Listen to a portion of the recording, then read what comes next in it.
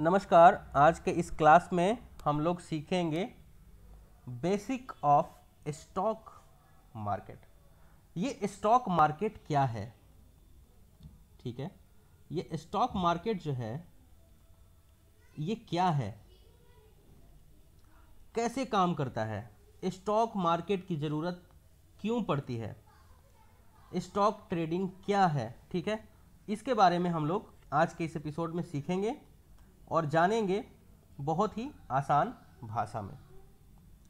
अब यहाँ पर स्टॉक मार्केट की ज़रूरत क्यों पड़ी? इसके बारे में हम लोग समझेंगे। मान के चलते हैं कि यहाँ पर प्रवीण है। प्रवीण जी हैं और इनके पास एक कंपनी है। वो कंपनी क्या करती है? वो कंपनी है, या मैं मान के चलूँ, एक शॉप है, और वो शॉप है इनका पिज़्ज़ा का। तो प्रवीण क्या काम करते हैं? पिज़्ज़ा बनाते हैं।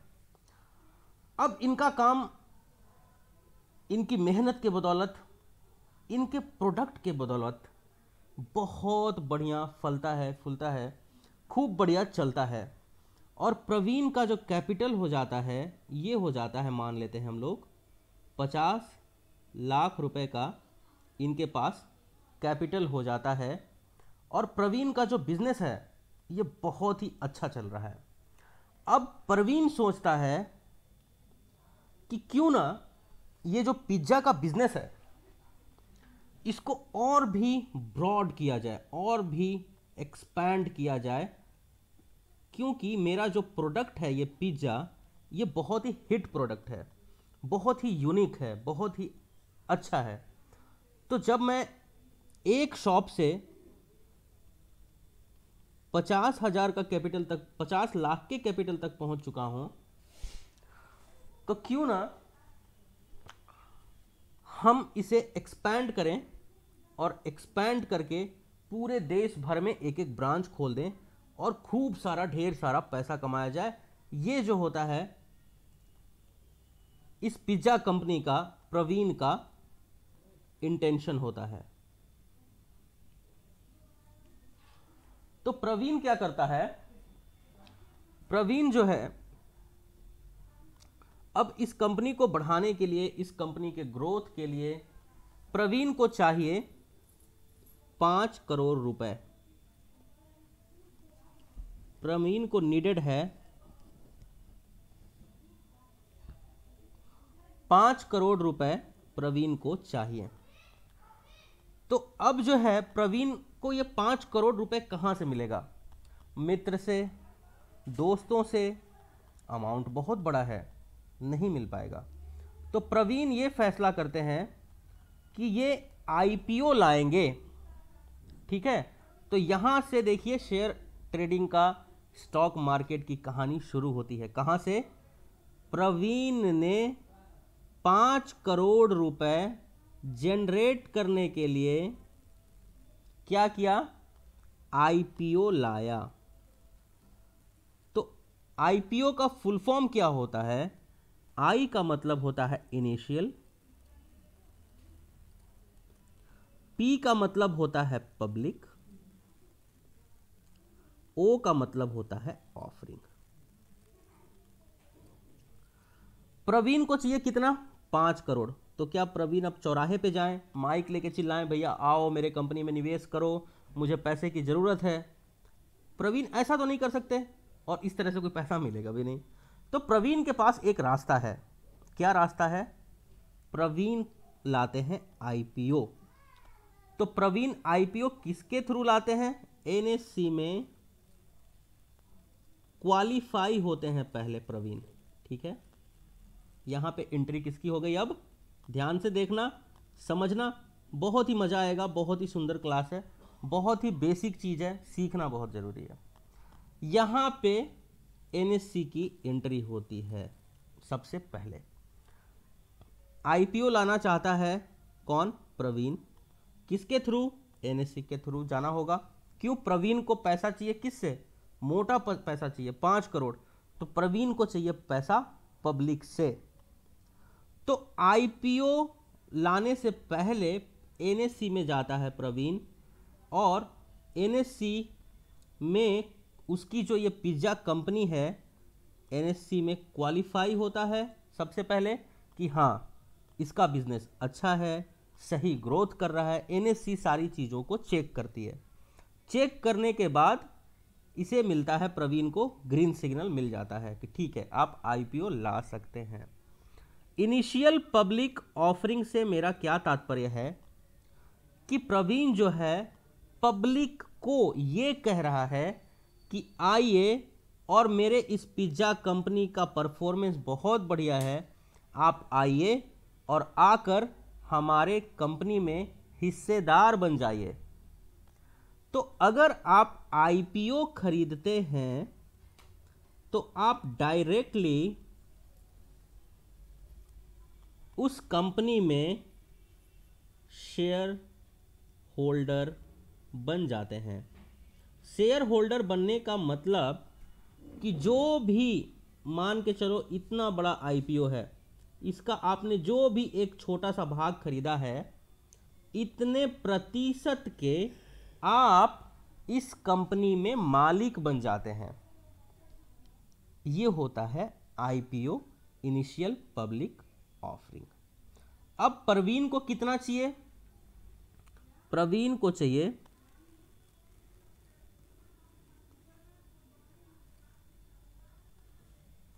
पाँच करोड़ रुपए। पाँच करोड़ रुपए किसे चाहिए? प्रवीण को। तो प्रवीण क्या करते हैं? प्रवीण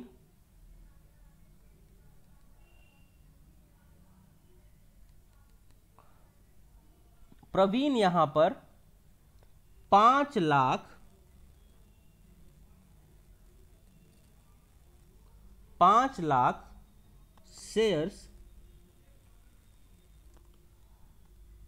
आवंटन करते हैं, जिसका मूल्य है सौ रुपए।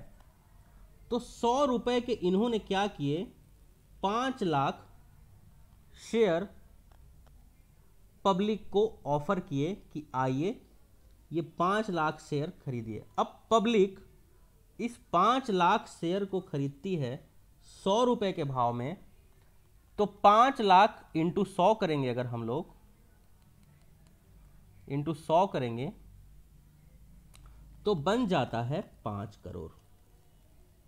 इस प्रकार से जो प्रवीण है, वो पाँच करोड़ रुपए इकट्ठा कर लेता है और इसे लगाता है अपने बिज़नेस को आगे बढ़ाने में एक्सपैंड करने में, नए टेक्नोलॉजीज़ को लाने में या अन्य अन्य तरीकों से इस पैसे को यूज़ करके कंपनी को एक डायरेक्शनल वे में, एक ऑर्गेनाइज वे में ऊपर की तरफ़ एक्सपैंड करने की कोशिश करता है।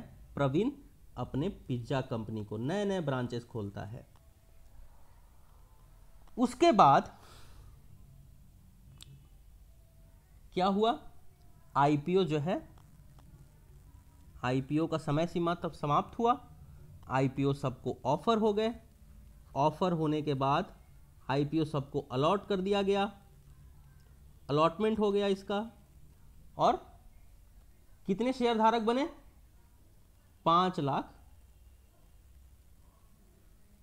स्टॉक होल्डर बन गए। ठीक है? अब इसके बाद ये जो स्टॉक है अब ये, जैसे अब ये पाँच लाख लोग तो हो, पाँच लाख स्टॉक मार्केट में है तो अब अगर किसी को बेचना हो अपना स्टॉक तो कहाँ बेचेगा?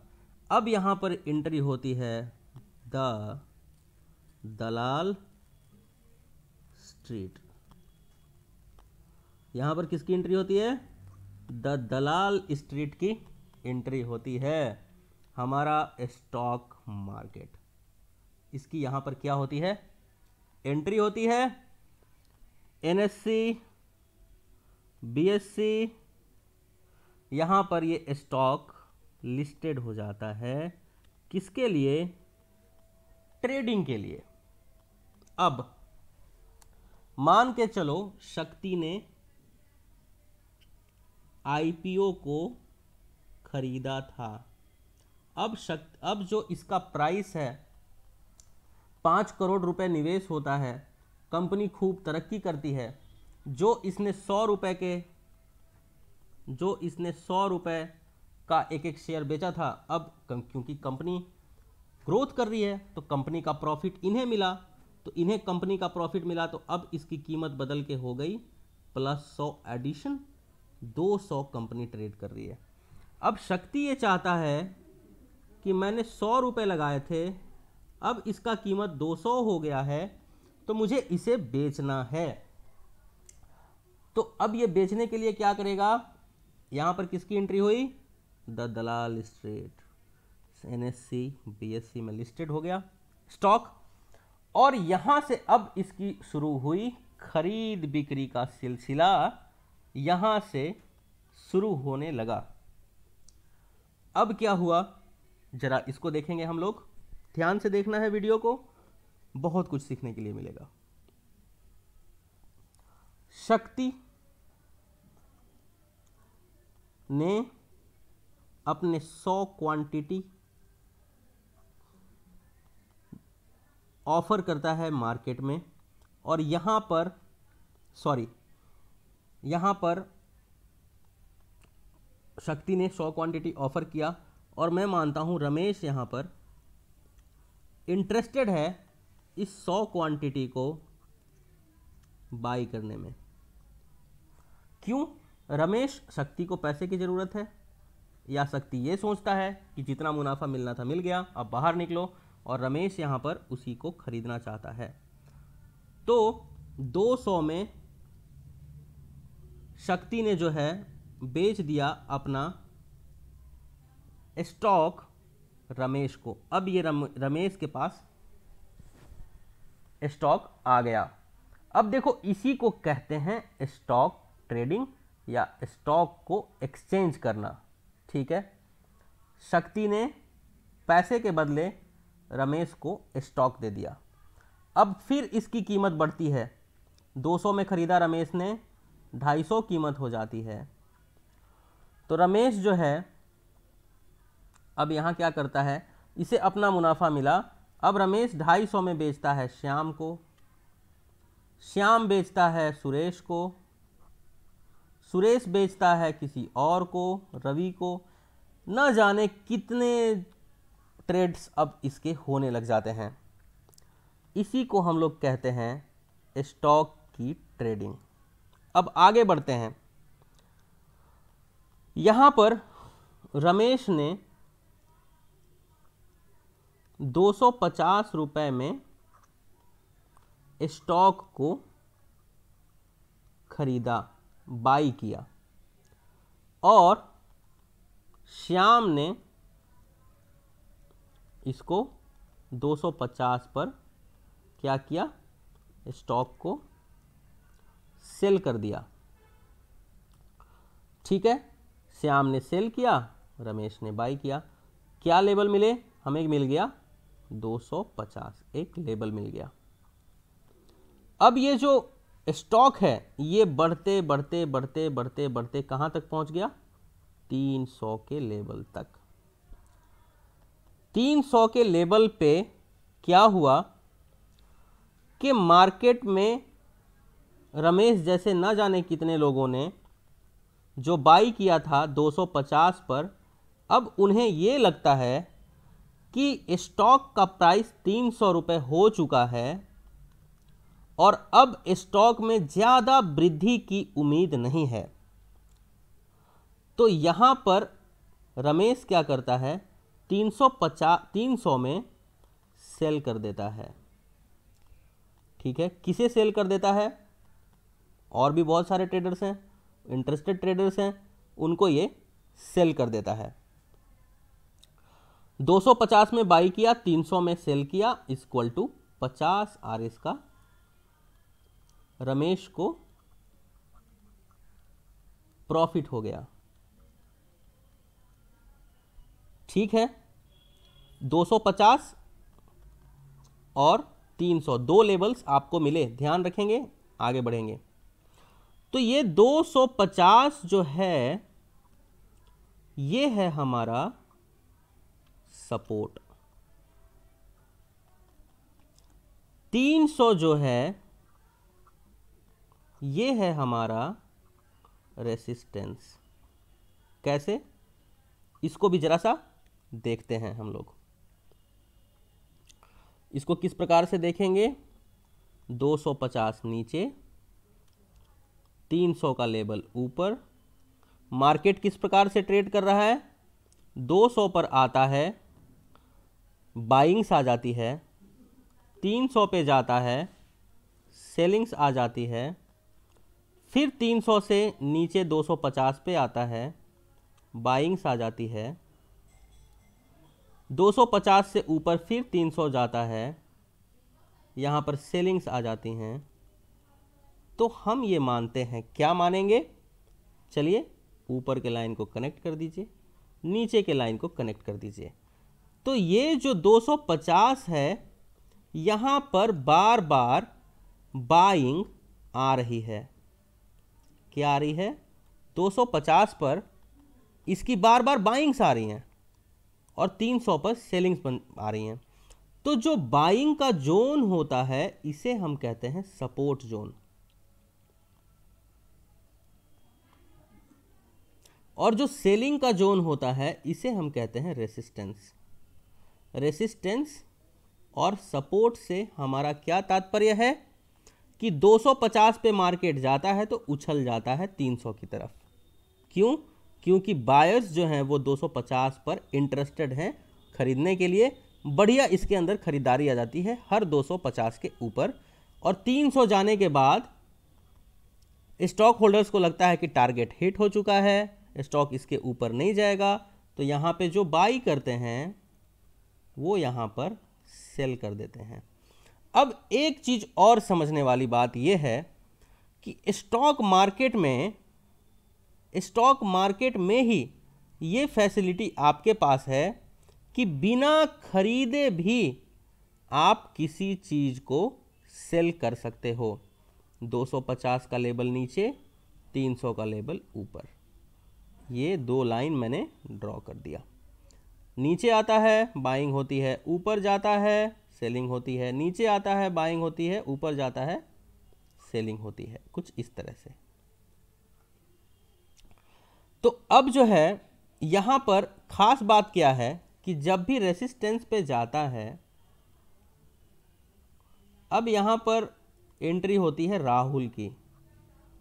राहुल के पास कोई भी स्टॉक नहीं है, वो डायरेक्टली 300 में इसे बेच देता है, सेल कर देता है।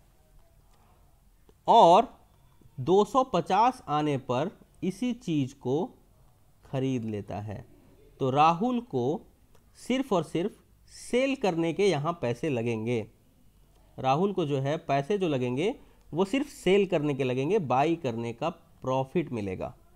तो 300 में किसी भी चीज़ को मैंने सेल कर दिया और 200 में उसी चीज़ को मैंने बाई कर लिया तो मुझे यहाँ पर प्रॉफिट हो जाता है 50 आर एस का। जी, आपका ये सवाल आएगा कि हमारे के किसका? राहुल के पास तो कोई बाई थी ही नहीं तो उसने सेल कैसे कर दिया? हाँ स्टॉक ट्रेडिंग में हम सेल पहले कर सकते हैं और बाद में बाई करके हम लोग उसका प्रॉफिट जनरेट करना शुरू करते हैं। अब राहुल ने क्या किया? नहीं 250 250 है ये तो 50 का प्रॉफिट हो जाता है। तो राहुल ने क्या किया? 300 में सेल कर दिया। मार्केट आया 290 राहुल को 10 आरएस का प्रॉफिट हो रहा है। मार्केट आया 270 राहुल को 30 का प्रॉफिट हो रहा है। मार्केट आया 250 राहुल को 50 का प्रॉफिट हो रहा है और यहाँ पे राहुल क्या करता है? अपना जो पोजीशन है, उसको एग्ज़िट कर देता है। तो एग्ज़िट करने एग्ज़िट करने से क्या तात्पर्य है मेरा? कि राहुल यहाँ पर बाई कर लेता है, क्योंकि पहले यहाँ पर ये सेल किया था राहुल ने। उसी प्रकार से 250 आने पर राहुल क्या करता है? 250 का लेवल आने पर राहुल इसको फिर से बाई कर लेता है। और 300 का लेवल आने पर राहुल इसी चीज़ को फिर से सेल कर देता है तो इन दोनों का डिफरेंस इक्वल टू 50 आरएस वापस राहुल को प्रॉफिट हो जाता है। 250 नीचे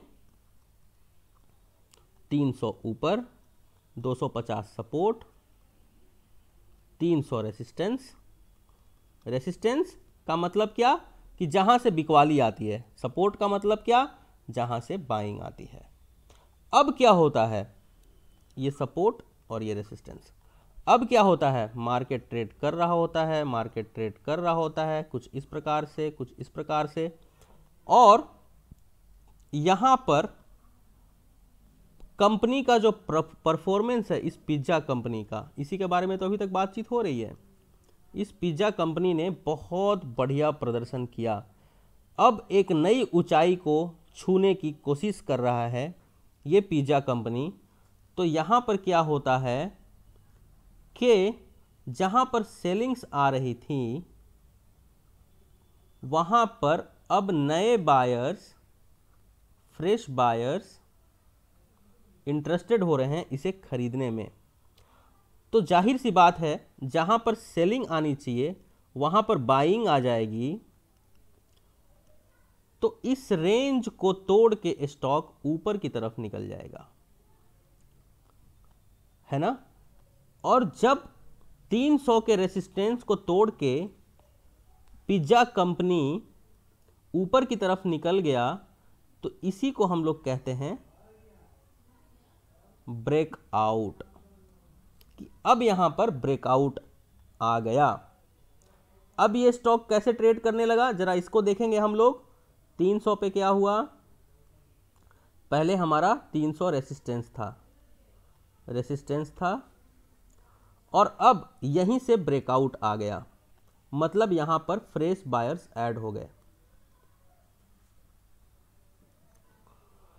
और अब ऊपर की तरफ़ इसके मूवमेंट आ रहे हैं और अब आ गया 400 का लेवल मतलब जिस स्टॉक का प्राइस था 200 वो अब बढ़ के 300 हुआ था पहले, जो रेसिस्टेंस बना नीचे 250 था, जो सपोर्ट था।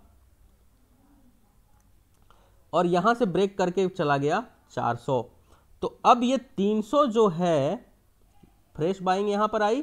तो ये 300 का जो लेवल है, जो कि पहले रेसिस्टेंस था, अब ये बन गया सपोर्ट। कैसे? कि अब जो है 400 बन जाता है रेसिस्टेंस। और 300 क्या बन जाता है हमारा? सपोर्ट। अब मार्केट कुछ यूँ ट्रेड करने लग जाता है। कि 300 पे आता है तो बायर्स ऐड होते हैं। क्यों? कंपनी का प्रदर्शन बहुत अच्छा है।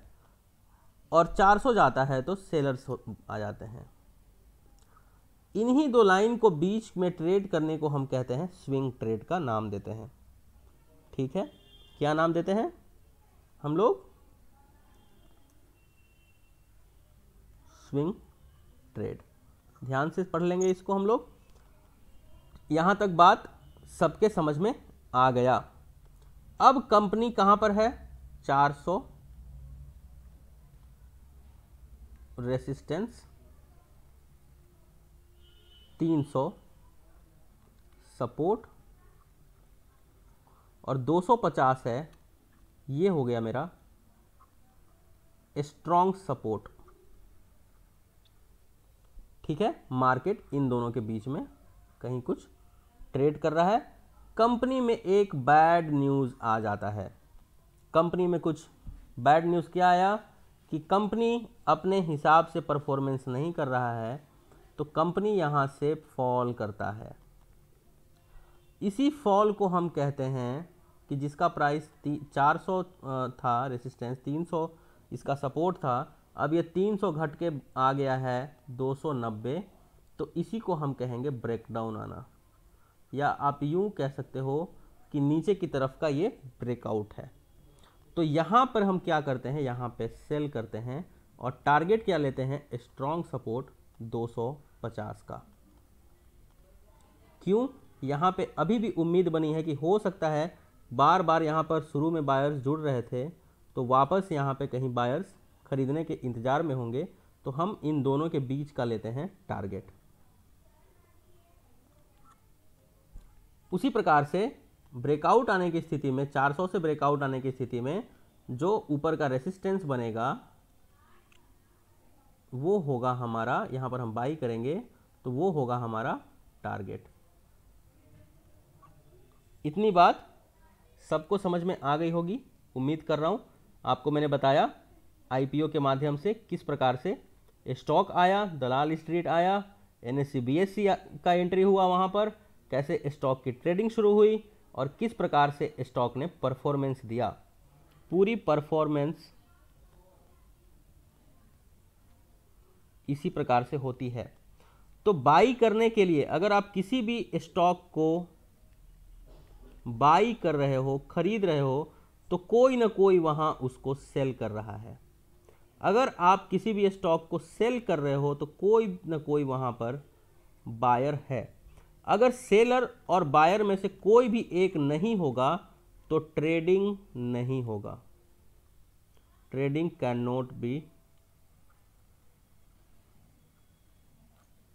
ये है बेसिक ऑफ़ स्टॉक ट्रेडिंग। ऐसे होता है स्टॉक की खरीद और बिक्री। इस चीज़ को अच्छे से ध्यान में रखें और इस चीज़ को आप सीख सकते हैं कि किस प्रकार से स्टॉक मार्केट जो है स्टॉक मार्केट जो है हमारा रोल प्ले करता है और किस प्रकार से हम लोग ट्रेडिंग करते हैं। Thank you very much for this video जय हिंद, वंदे मातरम।